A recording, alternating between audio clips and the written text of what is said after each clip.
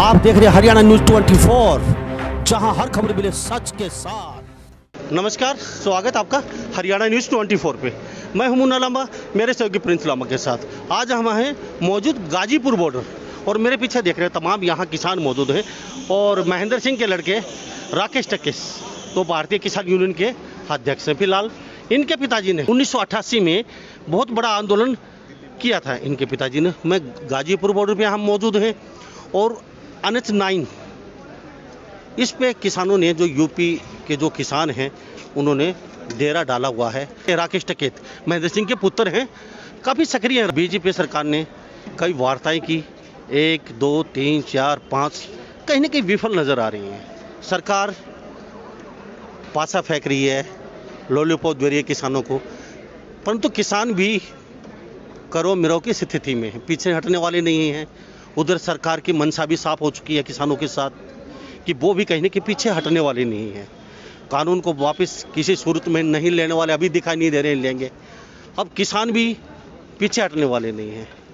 अब सरकार दो राह पे आ चुकी है। अब करे तो क्या करे और जाए तो कहाँ जाए? सरकार कहीं ना कहीं मानसिक कभी आंदोलनों को पुरानी सरकारों ने हमें एक बार अक्सर देखा है कि तोड़ने की कोशिश करती हैं कि आंदोलन को लंबा खींच दिया जाता है सरकार की तरफ़ से। वार्ता वार्ता वार्ता वार्ता। तो कहीं ना कहीं हरासमेंट हो जाते हैं किसान। वार्ता वार्ता करके और 10-15 दिन में कहीं ना कहीं वो ऐसा लग, लगता है कि किसान आंदोलन धीरे धीरे कम होता जाता है। लेकिन ये किसान आंदोलन कुछ अलग तरह का है, अलग तरह का रंग दिख रहा है। यूँ जो दिन बढ़ते जा रहे हैं, किसान आंदोलन काफ़ी भव्य होता जा रहा है। वार्ता चली, जब तक किसान आंदोलन बहुत छोटा था, लेकिन जो ही वार्ता का दौर खत्म हुआ किसान आंदोलन धीरे धीरे बहुत ज़्यादा होता जा रहा है। पूरे भारतवर्ष से लोग यहाँ आने शुरू हो चुके हैं। सभी वाटर चील हैं। सरकार को कहीं ना कहीं दुविधा में फंसना पड़ेगा। अब सरकार क्या स्टेप होगा? पहले तो मैं जानते हैं। राकेश टकेश जी क्या सब? हरियाणा न्यूज़ ट्वेंटी पर आपका बहुत बहुत स्वागत। जी धन्यवाद। आप अध्यक्ष हैं किसान यूनियन के। सरकार पीछे हटने वाली नहीं है। तो किसानों की क्या मंशा है अभी? सरकार ने दो टूक कर दिया। हम शायद ही कानून वापस नहीं लेंगे। किसान भी पीछे नहीं हटने का। हम्म, किसान भी आ गया ना बॉर्डर पर आ गया किसान पीछे नहीं जाएगा। हम्म। कहीं ना कहीं सरकार लग रहा है आपको पुलिस फोर्स हाँ। सीआरपीएफ हाँ। बीएसएफ कहीं ना कहीं दबाने की कोशिश कर रही है किसान। हाँ तो दबाओ। हम क्या मना कर रहे हैं? दबाओ। हम्म, जब वो दबाओगे तो फिर जवाब दे देंगे।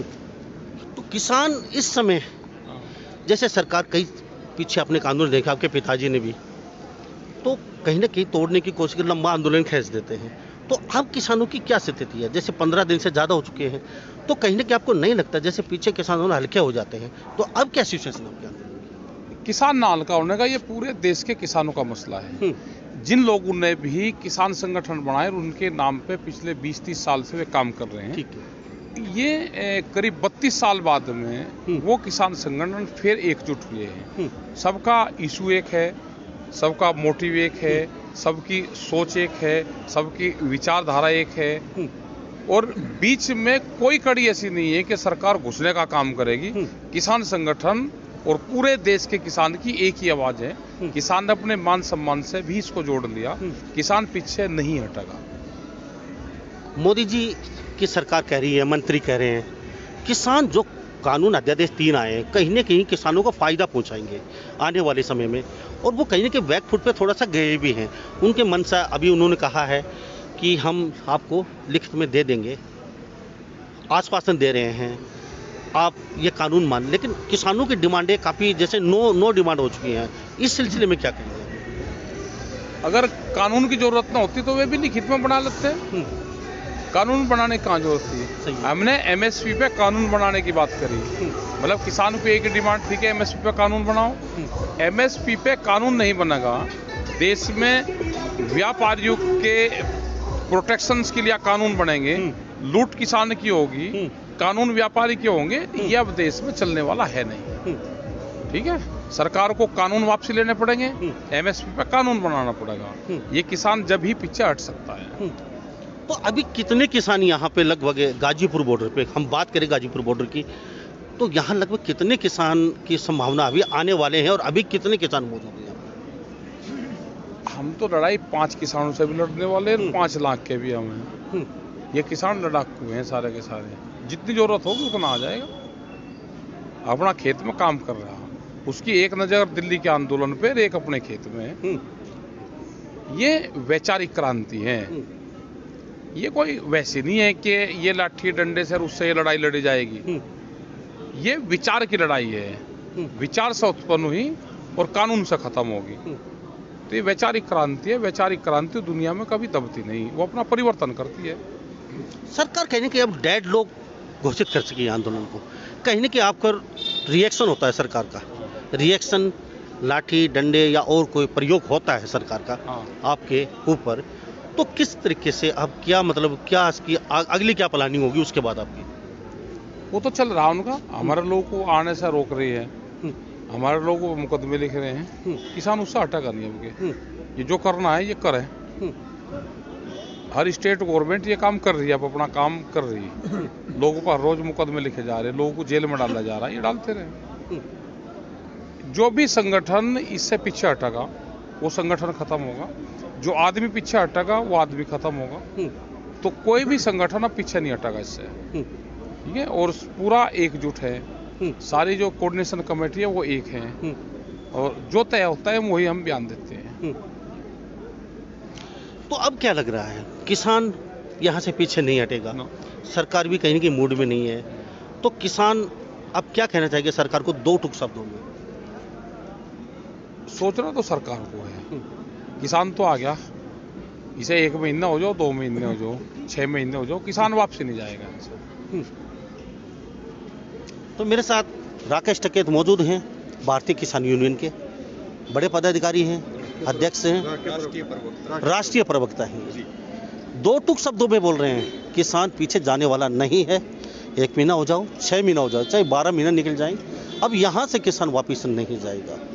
और किसान एक नज़र इस आंदोलन पे है और एक नज़र उनके खेत में है। और किसानों पे झूठे मुकदमे लगा रही है सरकार कहीं ना कहीं ये जाति करी है। टकेत साहब ने बोला है तो मेरे साथ कुछ लोग और भी मौजूद हैं। टकेत साहब के बाद दोबारा लौटता हूँ। सर राजवीर जी आप भी यहाँ पदाधिकारी किसान यूनियन के बहुत बड़े। आपने बहुत आंदोलन देखे हैं।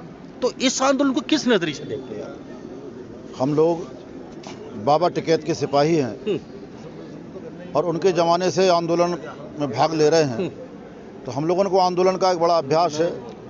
और इस आंदोलन को भी हम एक अठासी के आंदोलन की तरह ले रहे हैं। उस समय भी एक जनक्रांति थी आज भी एक जनक्रांति है। किसान यूनियन! जिंदाबाद! किसान यूनियन! जिंदाबाद! महात्मा टिकट! अमर रहे! बाबा टिकट। अमर रहे। किसानों ने ललकारा है। भारत देश हमारा है। किसानों ने ललकारा है। भारत देश हमारा है। भारतीय किसान यूनियन। जिंदाबाद। तो हम लोग इस आंदोलन को लंबी लड़ाई के मूड में हैं। ये समय तय करना सरकार का काम है। कि वो किसान को कितने समय तक रोड पर रखना चाहती है कितने समय तक किसान को आंदोलित रखना चाहती है। ये अब तय सरकार को करना है किसान तय कर चुका है कि हम पूरी तरीके से लड़ाई को लड़ेंगे आंदोलन को पूरी ताकत के साथ लड़ा जाएगा। यानी कि किसान ने तय कर लिया ना झुकेंगे और ना रुकेंगे। भाई किसान क्यों झुके? हम्म, इस कृषि प्रधान देश हम्म। में किसान ही झुक जाएगा तो देश नहीं झुक जाएगा। किसान तब नहीं झुका जब इस कोरोना महामारी ने सारे विश्व को झुका दिया था। हम्म, पूरा विज्ञान फेल हो गया सरकारें फेल हो गई हम्म, तब किसान फेल नहीं हुआ। खेतों में रबी का रबी की फ़सल का मौसम चल रहा था हम्म, खेतों में हम लोग काम करते रहे। हम्म, एक भी किसान खेत से कोरोना पॉजिटिव होकर के अस्पताल नहीं गया ये बड़ी बात है सरकार को सोचने की। ये वो मज़बूत तबका है जो किसी महामारी देवी आपदा या किसी सरकारों से डरने वाला नहीं है। हम अपने मकसद को निश्चित कर चुके हैं और उस मकसद में कामयाब होकर के ही घर जाएँगे। सर आपने वाइट कपड़े डाल रखे हैं। कुछ नेता और कुछ लोग बोलते हैं ये किसान नहीं है। तो आपको क्या लगता है किसान वही माना जाएगा जो फटे कपड़े फटी धोती या फटे जूते या फटी जूती होगी उसकी? क्या वही किसान माना जाएगा? क्या आप किसान की श्रेणी में नहीं आते हैं? बहुत अच्छा प्रश्न है आपका। बिल्कुल। जो सरकार में बैठे लोग किसान की फ़ोटो देख रहे हैं समझ रहे हैं उनको थोड़ा पीछे जाना पड़ेगा जब वो वोट मांगने जाते हैं किसान के घर घर दरवाजे दरवाजे तो भैंस के गोबर मिट्टी में सना हुआ किसान उनको परमात्मा नज़र आता उसके पैरों पे गिर पड़ते हैं आज वो किसान दिल्ली की तरफ़ कूच किया है हम्म। अपने निजी वस्त्र पहने हुए है हम्म। किसी पार्टी के द्वारा प्रदत्त वस्त्र नहीं है ये हम्म। वस्त्र सफ़ेद भी हो सकता है किसी भी रंग का हो सकता है। हम्म। किसान सादा वस्त्र पहनने वाला है। हम्म।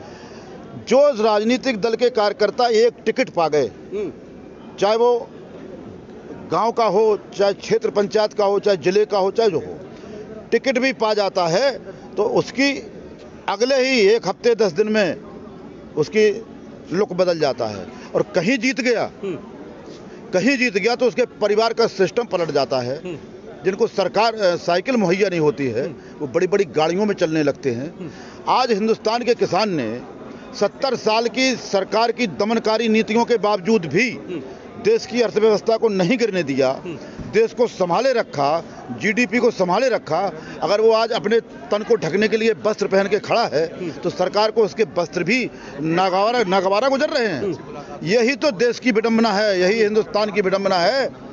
कि पॉलिटिकल लोगों की दोहरी नीति है दोहरे चरित्र हैं और दोहरी दृष्टि है। हम्म, चुनाव में वो किसान को आम आदमी को परमात्मा समझता है और पाँच सेकंड के भावनात्मक दोहन के बाद चाहे बैलेट पर मोहर लगवा ले और चाहे बटन दबवा ले मशीन का उस पाँच सेकंड के बाद वो पाँच साल तक उनका दमन करता है। वही दमनकारी दृष्टि है जो हमारा ये वेशभूषा उसको पसंद नहीं आ रहा। पसंद नहीं आ रही। तो मेरे साथ और भी कहीं यहाँ किसान नेता मौजूद जी मैं आपसे जानना चाहूँगा आप भी किसान नेता हैं हम गाजीपुर बॉर्डर पे मौजूद हैं एनएच नाइन। यहाँ पे अच्छी खासी भीड़ है यूपी के लोगों की यूपी के किसानों की और यहाँ से जाने वाले नहीं इन्होंने छः महीने का बोल दिया है मेरे साथ मौजूद हैं ऐलान कर दिया। जी। राजपाल शर्मा हाँ सर मैं आपसे एक बात जानना चाहूँगा। किसान भाषा ने बोला अच्छे कपड़े क्यों नहीं पहन सकते?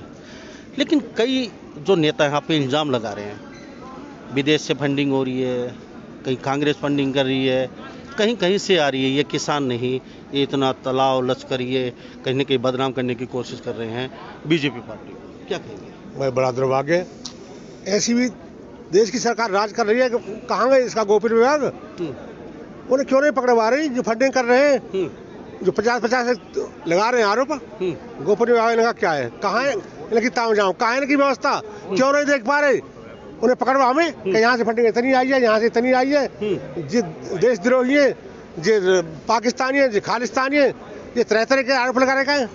इसका मतलब उस पर और कुछ नहीं नहीं इसके अलावा जुमलाओं के अलावा। हम्म, नहीं जानते शासन करना। हम्म, अरे उन पर व्यवस्था होनी चाहिए कि तुरंत जिया खालिस्तानी। जाने देते रुपया फंडने दी कहाँ गई व्यवस्था उनकी? हम्म, वो केवल लोगों को देख किसान को परेशान करना चाहते हैं। किसान वो भूल में न रह जाए। किसान अब वापस नहीं लौटेगा किसी भी कीमत पर। अपने अधिकार लेने आया है और घर से कह के आया है कि मैं घर जा रहा हूँ मेरी जान हथेली पर है। बहुत कुछ हो गया।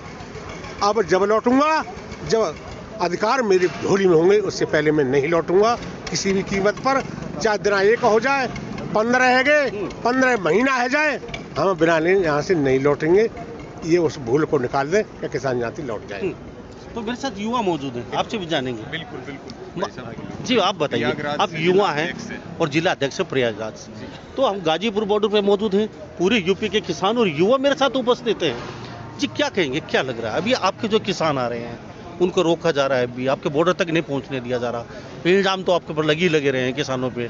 तो क्या कहेंगे इस चीज़ के लिए? देखिए इल्ज़ाम लगाना तो नेताओं का काम है। हम्म, अभी पहले उन्होंने जब ये हमारा मूवमेंट शुरू हुआ हम्म। तो उन्होंने पहले बोला कि ये खालिस्तान प्रयोजित है। हम्म, लेकिन देश की 130 करोड़ जनता ने उसको सिरे से नकार दिया। किसानों के पक्ष में जनता खड़ी रही। वो इनका दाव फेल हो गया। अभी दो चार दिन पहले इन्होंने अपने कार्यकर्ताओं को हमारे बीच में घुसेड़ के और पोस्टर इन्होंने लहराए। तमाम ऐसे लोगों के जो इस देश के लिए हितैषी नहीं है। हम्म। ठीक है हम लोगों ने भी ऐसे लोगों को बाहर किया अपने बीच से और उसका भी विरोध उसको भी जनता ने नकार दिया है इनके इस मूवमेंट को भी। तो ये षडयंत्र इस तरीके के करते रहेंगे। इनकी मंशा ये है कि इस आंदोलन को हम लिंगर ऑन करें कि देखते हैं कितने दिन में किसान यहाँ से कम होना शुरू होगा। लेकिन सरकार अपने ही जाल में घिरती हुई जा रही है क्योंकि सरकार की जो आईबी है वो उसे सूचना ये दे रही है कि यहाँ दिन दोगुना रात चौगुना भीड़ बढ़ती जा रही है। क्यों ये परिस्थितियाँ तब है जब सरहदों पर हर ज़िले के सरहद पे हमारे किसानों को रोका जा रहा है ट्रैक्टर ट्रॉलियों में। उनकी तलाशी ली जा रही है कि ये कहीं आंदोलन में शामिल होने तो नहीं जा रहे हैं। तो सरकार को भी समझ में तो आ चुका है कि पूरी तरीके से सरकार हार चुकी है। लेकिन उसके पास कलम की ताकत है लाठी की ताकत है बंदूक की ताकत है, उसके दम पे इस आंदोलन को कुचलना चाहती है, जो हम नौजवानों के रहते हुए और पिता तुल्य हमारे मार्गदर्शक बुज़ुर्ग हैं, इनके रहते हुए सरकार के मंसूबे को हम लोग कामयाब नहीं होने देंगे और जी जान लगा करके लड़ेंगे, क्योंकि हम जानते हैं कि हमें यहाँ से वापस जाने के बाद वैसे भी आत्महत्या करना है, क्योंकि हम किसी काम के लायक नहीं बचेंगे, हमारे ऊपर कर्ज का बोझ इतना है। तो आत्महत्या करने से अच्छा है कि हम लड़ करके मर के जाएँगे, लेकिन अपने आने वाली पीढ़ी को आज़ाद करा के जाएँगे। आज़ाद करा के जाएँगे। अब यहाँ किसान पीछे हटने वाले नहीं है सरकार भी बैकफुट पे जाने वाली नहीं है। अगर एक्शन होता है इस समय सरकार की तरफ़ से तो आपका क्या रिएक्शन होगा? हम ये चाह रहे हैं जैसे प्रधानमंत्री जी कह रहे थे हम्म। कि स्टोर बनेंगे कोल्ड स्टोर बनेंगे। वो मैं पूछना चाहता हूँ सरकार वो स्टोर ही होगा वो सरकार के बनेंगे या हमारे हमारा जो आलू है गेहूँ है धान है वो रखने के लिए बनेंगे क्या? वो तो प्राइवेट हाई लेवल वाले उद्योगपति बनाएँगे और हमारे से कम से कम रेट में वो खरीद देगा हमारा तो एक है कि जब हमारे लिए तीनों कानून बनाए ना तो हमारा एमएसपी पे भी कानून बन चाहिए हमें जो हमारा हक है। स्वामीनाथन पीछे उसी समय हटेंगे आप। हाँ अरे स्वामीनाथन ने कहा दस रुपए लगेंगे तो पंद्रह रुपए उनको मिलने चाहिए। मिलने चाहिए। ठीक हमारी लड़ाई इस पे है। और सरकार ने कानून किसके लिए बना दिए? प्राइवेट के। भंडारण खोल दिया। भंडारण में कह दिया एक लाख टन खरीद के पाँच रुपये में दस रुपये में तो पचास रुपये में बेच। यह सर्टिफिकेट दे दिया। आप पचास रुपये पर पावर बिजली था हमारा। आज ढाई सौ रुपये पर पावर बिजली है दस पावर मिनिमम कर दिया। और 2013 में तिरपन बावन रुपये डीजल था आज अस्सी रुपये हो गया। 80 ऊपर बैठे कह रहे आए दुगनी करेंगे। हमारे बिजली डीजल तो बढ़ दे दस गुना।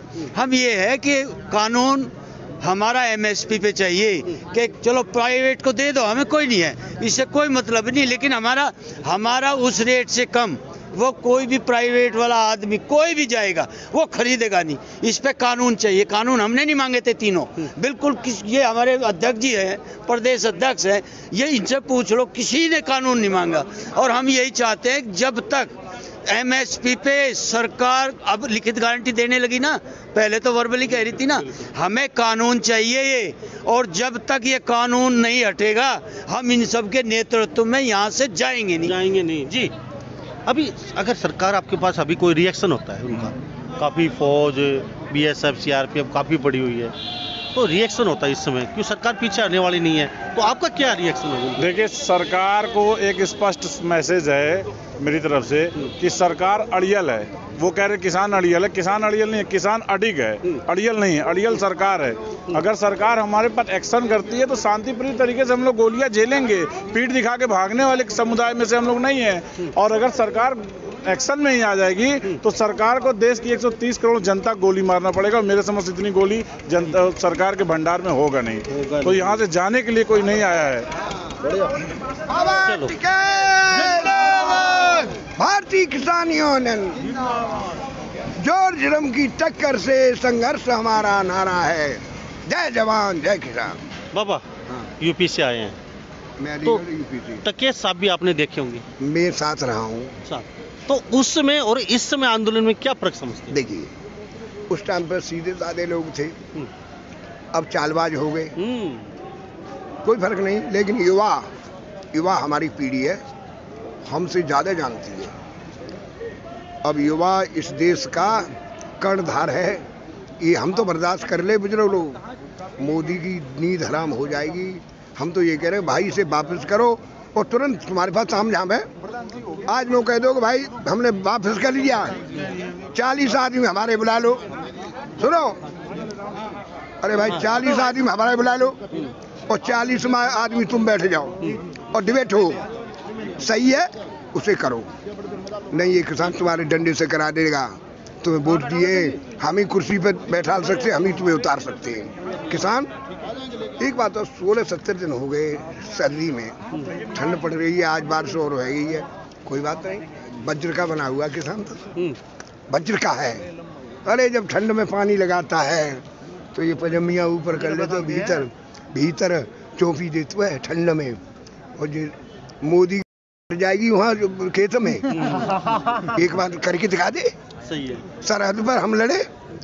मोदी जी आज वन रैंक वन पेंसिल का अभी तो कर रहे हैं मैं भी सैनिक हूँ। हम्म, अरे ये दोनों किसान और जवान की ऐसी कम तैसी कर रहे हो तुम्हारा कहीं ठिकाना नहीं रहेगा कहीं ठिकाना रहेगा आप तो वो है मीडिया हो। आप नब्बे साल के होंगे?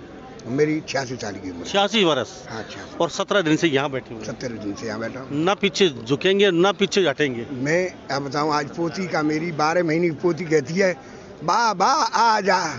मेरे बेटा मैं आ जाऊँगा। याद कर रही है, मैंने कुछ नहीं, जब आऊँगा, मैं सील होके आऊँगा। बच्चा नहीं सील होगा हमारा। हम बुज़ुर्ग हैं, तब आगे सीना करेंगे। फौलादी, इस देश के बुज़ुर्ग। एक एक करोड़ मर जाएँगे ना तो एक एक करोड़ ये बच्चे ले लेंगे। इनको देश से जवाब देना मुश्किल हो जाएगा। इसलिए व्यवस्था करें। इस किसान को मनाएँ तुमने गलत काम किया है किसान के साथ। हरियाणा से और पंजाब से जो किसान आ रहा था खड्डे तुमने खुदवाए। हम्म, पानी ठंड में तुमने हैं? अब तो गैस तुमने गोलियाँ तुमने। अरे जुर्मियों अन्नदाता आ रहा था तुम्हारी बात सुनते भाई। हम्म। क्या है ये मामला? ये नहीं चलेगा। जितना समय लगेगा उतना ही आक्रोश किसान पर है। ये जन आंदोलन बन गया है जन आंदोलन इसको कोई रोकने वाला नहीं है। राय पार्टी साटी हम नहीं मानते। हम्म, कोई नागनाथ है कोई सांपनाथ है। हमारे यहाँ ये किसानों को पूछ लो ईमानदारी से। सब घर से आए हैं कहीं पूछ लो। लेकिन हमने रूटीन कर दिया है कि अभी थोड़ा थोड़ा कम में रहो। यहाँ व्यवस्था खराब हो जाएगी ये लैट्रिन में साफ़ नहीं कर सकते हैं। हम्म। गंदगी आ रही है। हाँ, तो- हमारे लोग मर जाएँगे। भाई सुरक्षित। इतने से हम काम कर लेंगे। हम्म। सौ मर्द बहुत हैं और ये लाखों हिजड़ों की ज़रूरत नहीं है। हकीकत में बता रहे अरे सौ मर्द तो मर्द हैं। हम्म। किसान यूनियन। जिंदाबाद। जय किसान। जय जवान। एन नाइन और गाजीपुर बॉर्डर पे मौजूद हैं और हमारे साथ यहाँ तमाम किसान उपस्थित हैं यूपी बॉर्डर पे पंजाब के आए हुए उत्तराखंड के और यूपी के। तो इन ये भी पीछे हटने वाले नहीं हैं।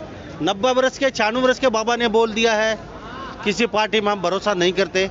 कोई नागनाथ है तो कोई सापनाथ है। किसान एक मुश्त है और एक मुश्त रहेगा। और सरकार चाहे कुछ भी कर ले चाहे यहाँ हमें छः महीने बैठना पड़े चाहे छः साल बैठना पड़े। हम पीछे हटने के मूड में नहीं हैं। हाँ जी। सर जी आप एक बार बताओ। हाँ। ये किसान का जो बिल जो है एक एचडीएम के एचडीएम पे थोप दिया। अब आप मुझे ये बताओ मैं मध्य प्रदेश से मध्य प्रदेश से हूँ जिला छतरपुर। हम्म। वहाँ की आप तहसील में जाके देख करके आओ पूरी पूरी सौ परसेंट भ्रष्टाचारी। हम्म, बिना पैसे दिए काम चलता नहीं। किसान अगर कोई कहते ना अपनी ज़मीन न पाल लो तो किसान डर के मारे पहले कपने लग जाता है कि मैं वहाँ जाऊँगा वकीलों को पहले पैसे दूँगा फिर वहाँ पटवारी को अफसरों को पैसा खिलाऊँगा फिर मेरी ज़मीन नापने के लिए आएँगे। हम्म, अब ये बताओ और दूसरी बात एचडीएम की तो छोड़ो कमिश्नर जो है कमिश्नर बड़े दुख की बात है जो कमिश्नर है किसी का फैसला होना होगा और होना होगा दो चार महीने में। ये जानबूझ के डेढ़ डेढ़ सब दो दो साल लगाते हैं ताकि किसानों से कमाई हो। हम्म, तो ऐसा कानून पास करना चाहिए मोदी को। सब चीज़ देख कर करना चाहिए किसानों को किसी प्रकार की दिक्कत ना हो। दिक्कत हाँ। बहुत दुखी कर दिया दूसरी बात यह है कि आप बाहर देश जाकर के करोड़ों रुपए दान करते हैं। हम्म। अरे मैं ये कह रहा हूँ किसानों के लिए जो छह लाख का ट्रैक्टर आता है आप किसानों को आधी सब्सिडी दो ना हम्म। ताकि किसान जो है मशीन ला करके अपने खेती बाड़ी करे खेत ये दिल्ली क्यों आए कमाने के लिए? और दूसरी बात यह है कि अगर किसान भाइयों को कुछ बात समझ में नहीं आ रही तो मोदी जी आप आपके पास मंत्री है किसी मंत्री उनको बैठा करके किसानों को समझाए मीडिया के आगे। टेलीविज़न में समझाए कि भाई ये ये दिक्कत- ये ये ये, ये कानून हमने पास किया। तो अपने आप किसान समझेंगे। अब आप बता रहे हो कि यहाँ पे क्या करें वो व्यापारी लोग हैं। व्यापारी लोग अगर हैं तो मीडिया वाले पकड़े ना।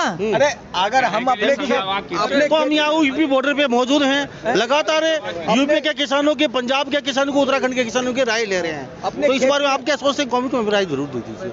मैं मुन्ना लामा मेरे सहयोगी प्रिंस रामा के साथ। हरियाणा न्यूज़ ट्वेंटी नमस्कार। जय हिंद। आप देख रहे हैं हरियाणा न्यूज़ 24 जहाँ हर खबर मिले सच के साथ।